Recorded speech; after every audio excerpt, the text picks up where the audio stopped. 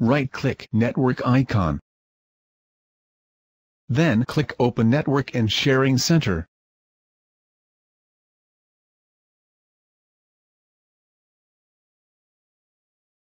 Click Ethernet.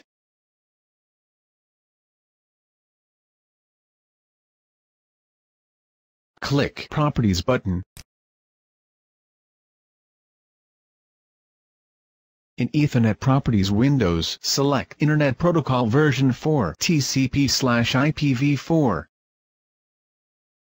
Then click Properties button. Choose Obtain an IP address automatically. Then choose Obtain DNS server address automatically. Click OK button. Click Close button. In Ethernet status Windows, click Details button.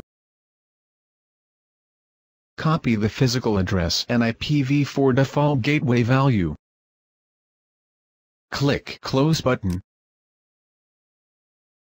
Closed all open windows. Open any internet browser for example Internet Explorer, Firefox, Google Chrome.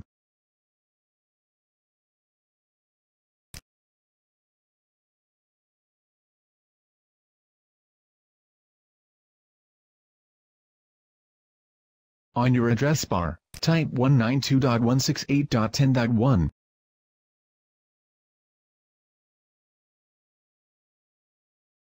In password type admin.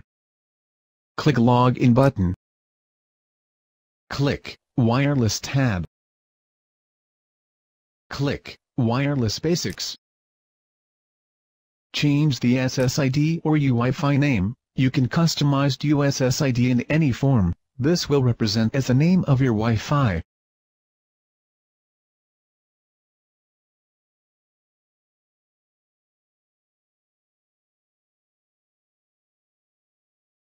In security options you have four options to select. Select WPA2PSK.